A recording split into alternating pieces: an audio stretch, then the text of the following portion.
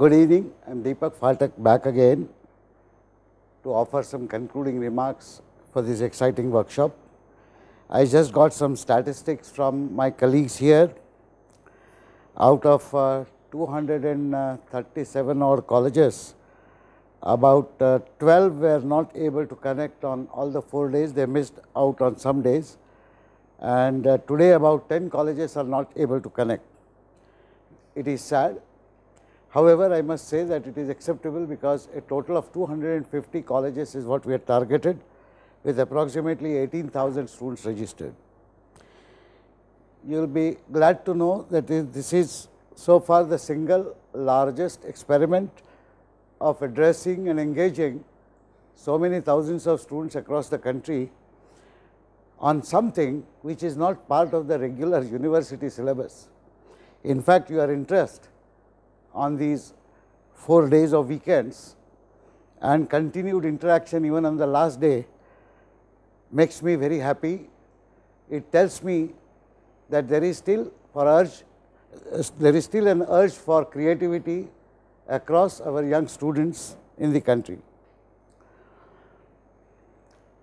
As I told you, the tablet computers are expected to proliferate very very quickly and very very largely across the human society and over the next decade they will probably become the basic tool for education in most of the educational institutions in advanced countries and hopefully even in developing economies such as ours. To begin with, I would like to remind you where you people are positioned. You are all engineering college students. I suppose uh, most of them are third year students. Uh, any idea about the demography of these students? Mostly third year students. Is there anybody from the workshop team here? Most of them are third year students. Well, I would say senior undergraduates and some postgraduate students, maybe others. There is an interesting statistics which most of you would know, but I would like to remind you the number of Indians who are less than 19 years of age, less than or equal to 19 years of age is very, very large. Can you guess how much? There are 300 million Indians in that age group, 30 crore Indians. That means there are 30 crore Indians who are at your age or younger than you in this country trying to find out the best avenues and opportunities for educating themselves and using that education trying to figure out how to do well in life for themselves and for the nation. This is not a small number by the way, this is larger than the total population of most countries. In fact, there are only two countries, three countries which have population larger than 300 million that is China, uh, India herself and probably United States. The point is that this is termed as a demographic advantage for us, but this demographic advantage will be a true advantage only if this vast pool of talent can be given proper education and then opportunities for not just earning livelihood, but for making themselves and the society and the nation stronger and more prosperous. Why I mention this to you? Because you would realize that you are the leading edge of this so called demographic dividend, leading edge and a leading edge of any phenomena has a greater responsibility and also greater opportunity.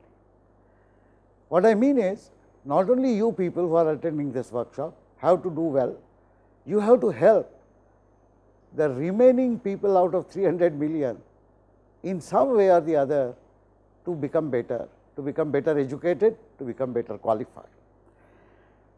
Obviously, as of now your concentration would be to completing your course, learning useful things such as Android programming and many other things and pick up a good job, do well in life. But while you do so, in every activity of yours, please try to see if you could also help others.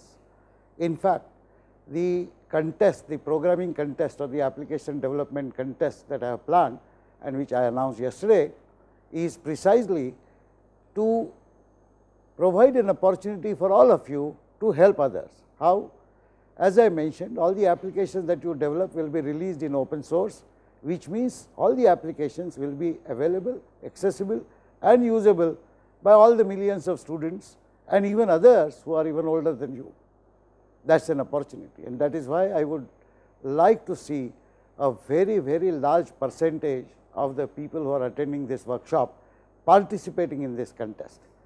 Whether you win a award, a prize or not is immaterial, but a participation will do two things. One, it will give you and your team members an opportunity to really come up with something creative, something different, writing good programs, writing programs which work, which do something, which provide some functionality. Whether it is a game, whether it is a simulation, whatever it is, it just does not matter as long as it is created using your own talent. Please remember that whatever you submit will be released in open source with your name attributed to you and those of you who come up with something excellent, something extraordinary would be remembered by the history and by the other people. As I said, all of you desire to do well in life and I wish you all well in that endeavor, but I would like to use this opportunity to share with you a few things that I believe people at your age should remember. When I say people at your age, I do not exclude myself because I still feel I am young enough, although I am not obviously in age, but by mind and by heart I am as young as you. I can relate to you well because as a teacher I deal with people like you every day. I have been doing so for last 42 years. I hope to do so for some more time here. When I try to peep into the minds of youngsters such as you, what do I find? I find dreams and aspirations exactly similar to those which I had when I was your age and I was a student in second year, third year, fourth year of engineering. I realized something then which you should have realized now, namely that engineering education and science education are two fields which are enormously important not only for you, but for the entire society. Why? Because in this century and in fact starting with the previous century, most of the wealth generating mechanisms, most of the mechanisms which provide comfort and solace to humanity in their normal life come out of science and engineering. And that is why this education is so very critical, so very important. While we are pursuing this education, and while you will pursue your professional careers later, I believe that there are a few things that you should like to keep in mind such that your professional career and in fact, even your remaining stay as a student is far more fulfilling, far more pleasant and far more enriched. I am not going to talk about academics of course, I am not going to talk about preparing well for exams. That is what you all do automatically and naturally, but I am going to speak about certain other characteristics which are very critical in your future life for leading a successful professional career.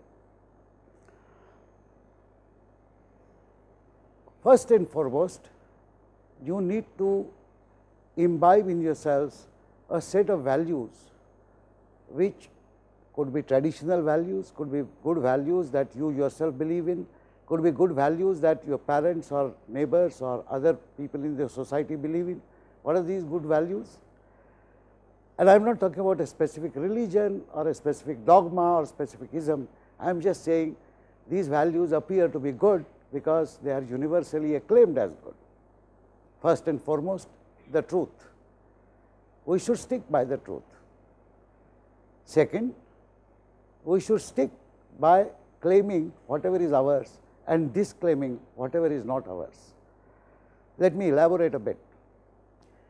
When I sit in an exam and I have a neighbor who is very smart and writing correct answers, known to be writing correct answers, I may be tempted, if nobody is looking, I may be tempted to look into my neighbor's notebook and maybe copy something. Well, if nobody catches me, I may get a few marks, if nobody catches me and if my neighbor actually has written wrong answers, I will get less marks. But this temptation is to be avoided because it immediately impinges on following a good value namely truth. Remember when you are getting evaluated, you are being evaluated for what you know, not what others know and therefore, it is only proper that you articulate, you describe what you know. It is possible that some questions cannot be answered by you either because you are not prepared or because you are not able to get those solutions during the examination time. It is okay to give even a blank answer. It is okay to imagine something and write whatever you think is right, but the answer must be your own. The very temptation of copying from somebody else means something very hazardous. It means that I am trying to claim credit for something which I claim to know myself, but I do not and that is bad value that is bad value now that is bad value later in life. In academic terms this is called plagiarism this is in fact the first stage plagiarism means taking somebody else's stuff and claiming it to be your own. Sadly we find that people when they grow up with this kind of temptations not controlled during the young age become sort of used to doing these kind of things. They think there is nothing wrong in it and then they do worse things in life. Somebody in Coimbatore has done some fantastic research and published a paper in 1985. I am working in the same area in some other city like Jharsuguda or whatever. Now, I have not been able to get the same accomplishment, but I, I want the same kind of recognition. I am tempted to read that paper, copy some paragraphs from that paper and claim those paragraphs to be my own work and submit them. This is theft. Ordinarily, if I go and steal a television or something from somebody's house, it will be called a criminal offense. But if I simply take a paragraph from somebody else's write up and include it and claim it to be my own, I believe it is not really as bad. I would like to tell you it is not as bad, it is worse. It is worse because it is less likely to be caught and therefore, you are less likely to be ever reminded of what should be the right thing to do in life. This temptation I, I must say you must prevent yourself, nobody else can help you. So, when you give any examination, when you give any evaluation, A, you must articulate what you know yourself. In research for example, it is perfectly permitted to quote somebody else's work to define the context and say this is what I have read, but this is what I have done subsequently upon my own thinking and so on. Such a reference has to be cited. That means, when I quote that paragraph, I am required to do two things. One, I must rewrite that paragraph in my own words. It is not proper, it is not correct to simply copy cut and paste, the cut and paste technology which is so, uh, so prevalent these days particularly because of the availability of electronic contents, I may be tempted to do that. That is wrong, that is that is academically considered a criminal offense. Why do I elaborate this one point so much? That is because when you embark on developing your application, you have to be very careful. You may pick up any lines of code or any idea from any source that you come across. After all, there are thousands upon thousands of applications which are already, which have been developed in Android and many of them are available in open source. It is perfectly fine to take an idea from somewhere else. It is perfectly fine to re refer to that code, but you must give due credit to that code. You must begin your submission by saying, I got this idea from such and such place, this is the reference which is cited at the bottom, this is the code which they have written, but I have applied my mind, I have worked hard to extend that concept further, to add some functionality there and this, this and this is my own work, all the rest is somebody else's work. I think you should have courage to say that. And it does not matter if for 200 pages of somebody else's work, I can add only one page of my work. Believe me, when that one page is your work, it will get you credit and you will be respected for your honesty far more than what otherwise you would be ridiculed for copying somebody else's work. In any case, since we are going to release all the contents uh, of your submissions including your application source code, the binaries, the functionality, documentation, everything in open source. Please remember that it is important to avoid this temptation of copying from somebody else because the whole world will be looking at each and every application when we publish it on the IIT website with your names, with your institute's name there. It is very, very important that you therefore submit your own work, do your own work and submit your own work. Why does this temptation come in the first place? Is because of the natural human tendency to optimize. You know, you would have heard this word optimization. Optimization of any process means you try to minimize the efforts that are put in and you try to maximize the gains that the system gets. In terms of our normal activity, for example, when I am a student, I would like to minimize my studies and maximize my marks, because I correlate my marks to the gains. This, if you are smart enough, you can do that by n number of strategic means, but you cannot include any kind of plagiarism while doing so. So, the first good value is to claim what is yours and to disclaim specifically what is not yours by citing the reference to the appropriate place from where you have picked up the knowledge. There are a couple of additional things that I would like to mention. One is our ability to articulate, particularly articulate in written form, while in writing is very poor. I am not blaming you for that. This is a problem that the entire Indian society is afflicted with and this is not new. There is a reason for this. Our age old traditions of knowledge transfer have mostly been verbal. The script started getting used by common people very, very late.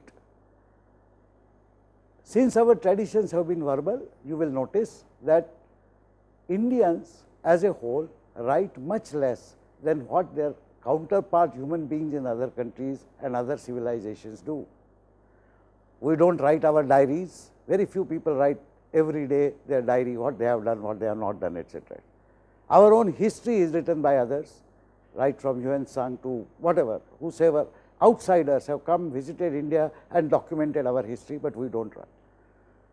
We speak a lot, we exchange our knowledge and ideas by speaking, we read a little and we rarely write. I would like to request you to consider spending a lot of attention in your ability to articulate in written form, because in this century and beyond, the written articulation will become of paramount importance. I have come across many students including several of those who come and uh, come and join our MTech program here. Even our MTech students many times are not able to write properly in English while articulating their ideas. And they all claim, sir, this is because our native language is not English. Now, that is the most bunkum argument I have ever heard. Like most of you, my native language is also not English. I studied in Hindi all throughout. I did an experiment which I would like to share with you for almost 6 years while I was conducting an entrance examination for the MTech students. Thousands would apply of course, we would do a first filtering and then we would shortlist people about 50 or 60 to be interviewed. While they are waiting for interview, I would conduct a long test and in that test there would be one question. Write about yourself and your family in 10 sentences. They would of course answer it truthfully making mistakes in writing English. The next question would say, rewrite the answer to the previous question in your own mother tongue. 99 percent of the time when people wrote erroneous English, they also wrote erroneous Marathi, Hindi, Telugu or whatever. What it means is people have generally not disciplined themselves, disciplined their mind to write properly. I see emails bouncing across including those which are exchanged between the participants of uh, this workshop including the responses given by my team. Okay. If they were to be part of a proper answer in any examination, all of you including my team members will fail miserably because there are grammatical mistakes, there are spelling mistakes and the sentences somehow do not make proper English language sense. Do you know why it still works? It works because my students, my staff members and you all can actually understand what is being stated and therefore, you say it is all right and that is because you make similar mistakes, you, you are used to similar language. This getting used to is a very dangerous thing. Please remember, you will be competing with the rest of the world and the rest of the world believes in proper written articulation. You have to learn proper written articulation either now or later and better learn it fast. I would submit that the uh, documentation that you are going to prepare for participation in this contest should be written as far as possible in correct English, because English is the language that we have chosen as a medium of instructions across all engineering education. And there is no harm in writing out that documentation and taking it across to your own friends and others saying, will you please check whether there are any grammatical mistakes, will you please check if there is something wrong. After all, do not forget that there are tools available today which can automatically check for spelling mistakes. Do you necessarily subject any email sentences that you write to spell check before sending it? I believe you do not because otherwise I would not get mistaken English in small emails from all across the country. So, this is the second point I wanted to share with you. Please become as perfect as possible in English articulation. English indeed is a foreign language, but is used extensively in India and there is no reason why you cannot master any language including English. You have to discipline your mind to write properly. By the same token, I would suggest that if you ever write in your own mother tongue, be it Marathi, Hindi, Telugu, Tamil, Bengali, whatever, please ensure that you at least try and write correct Hindi, Marathi, Telugu, Tamil and do not make mistakes there. Whenever you write badly in any language, you are insulting that language, you are insulting all the readers and above all you are insulting yourself. You are not putting out the proud fact that you are a human being capable of learning, capable of industry and work and capable of correcting your mistakes. Your written articulation says a lot about you. Please make sure that it says well about you to anybody who reads whatever you have written. There are many things that I can speak about, but today is a short time. I think uh, my time is already up. No, I have 5 minutes because I started 5 minutes late. Okay. So, I will use not all the 5 minutes, I will use only 3 minutes to uh, conclude my talk. I somehow dream that the lives of all my students and you are all my students now. It does not matter where you are sitting because once I engage with you as a teacher, you become my students. For my students, I have a special message. I would love their lives to be as beautiful as dew drops in the morning that you sometimes see on a winter morning. I do not know whether uh, uh, the word dew is it commonly known? Dew dew drops are those small beautiful looking water drops. Early morning you will find them on the leaves and flower petals in the winter particularly. They look beautiful when the sun shines on them. And I imagine how nice it would be if all my students had a beautiful life as beautiful as these dewdrops. So, I defined a special meaning for the three letters of the word dew. Dew is spelt in English as D, E and W. For me, D stands for dreaming big. You must dream big because your dreams will restrict or permit you to achieve less or more. So, dream big so that you can at least aim to achieve more. Do not worry if you cannot fulfill all your dreams, but when you struggle to achieve bigger dreams, you achieve much more than if you initially dream small, even if you achieve it there is not much fun. So, dream big that is D for you. The E in dew in my opinion should stand for enjoy life. Why life should be enjoyed? Because life is the only interval that you are consciously aware of. We are born, we will be dead someday. The interval is life and every instance in that life comes only once. So, please remember every instance in our lives is extremely precious including this instance. Currently you are spending time listening to me. If I had not prepared very thoroughly then sometimes I would waste your time by not speaking meaningfully. I must enjoy every instance of speaking, I must enjoy every instance of listening, I must enjoy every instance of writing a program, I must enjoy every instance of trying to find out the error in my program, I must enjoy arguing with friends, I must enjoy seeing movie, I must enjoy dreaming, I must enjoy everything, enjoy life, enjoy every instance of life because every instance is precious, it will never come back again in your life. So, dream big for D, enjoy life, enjoy every instance in life for E and the last is W. W is for working hard. You have to work hard. This is a question I often ask my students, how many hours in a day do you sleep? The typical answer is 6 hours, 7 hours, 8 hours. Well, I do not grudge you, I would love to sleep for 6, 7, 8 hours, but for last 45 years I have been sleeping on an average only 3 hours and that is because I realized very early in life that the more I sleep, the more of the instances in my life are wasted because there is no productive work that is being done. Please remember when I say dream big, I do not mean dream in your sleep, dream while you are awake, that is what is big dreaming, not the kind of dream that you get. I am not suggesting that all of you should become mad like me and start sleeping only for 3 hours a day. That is nonsense. Every human being requires a proper amount of sleep, but you can reduce that average quantity of sleep that you spend every day by working maybe 15 minutes extra, 30 minutes extra. And more importantly, every minute that you are awake, you can utilize that time by doing a great amount of planning and by optimizing the time utilized. But if you work hard, then and only then you can create something which others who work less hard cannot do, namely you can create history. History is not created by working 9 to 5 or by attending classes or by just doing defined thing.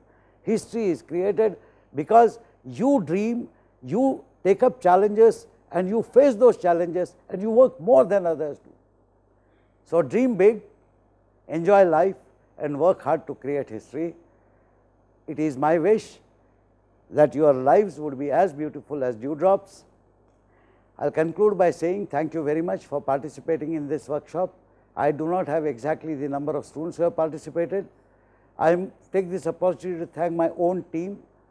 I believe my experiment of exposing my own uh, project staff, MTech students and RAs to work as teachers has succeeded well.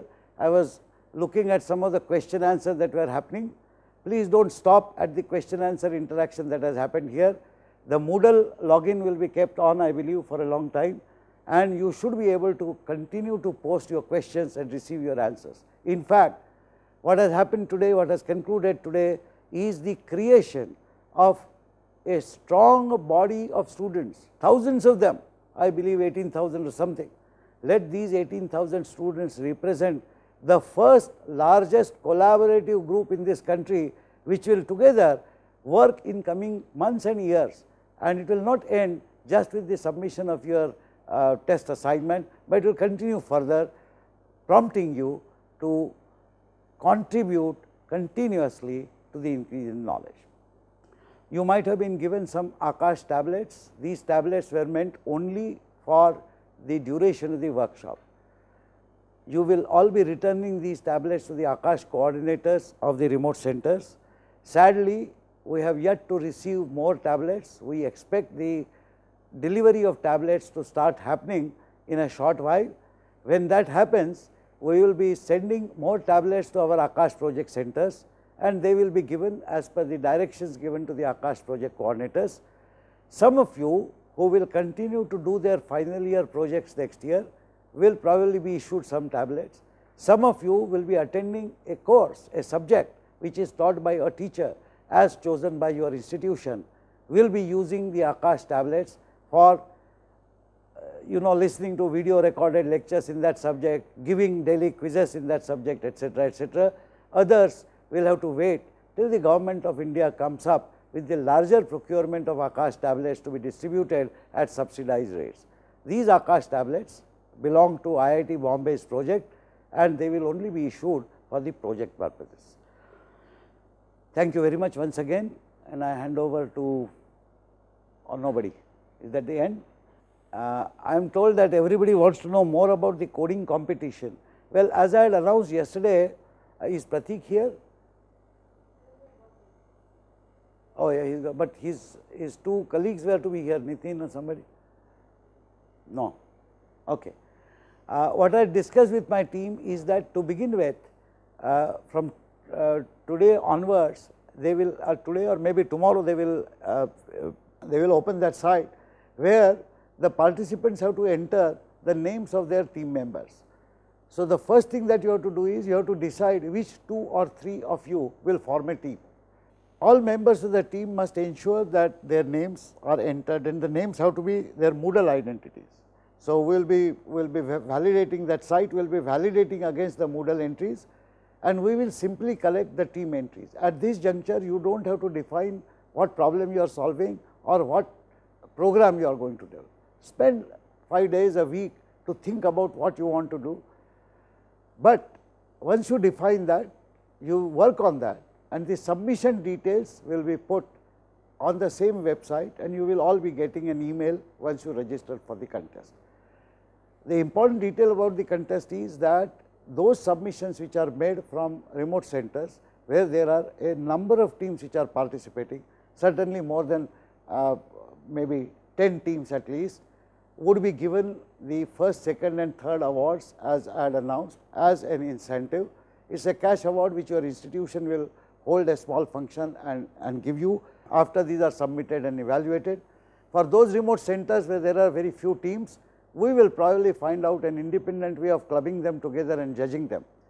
But the important point is that all these award winning entries will be put very, all the entries first of all will be released in open source and the award winning entries will be proudly listed by the Aakash project in a prominent manner on our website including the names of the participants who have prepared those programs and the names of their institutions as the great contributors to this project. I think that much of details is sufficient. So, please start forming your teams. I think you would have already done that. I think tomorrow you would get an opportunity to register your team. You will have to register formally. All the students who are certified as uh, having attended these workshops by your Aakash coordinators will get a formal certificate of participation from the institute in due course of time. Thank you very much for your interest and continue enjoying uh, programming for Android tablets, programming for Aakash. All the best. God bless you.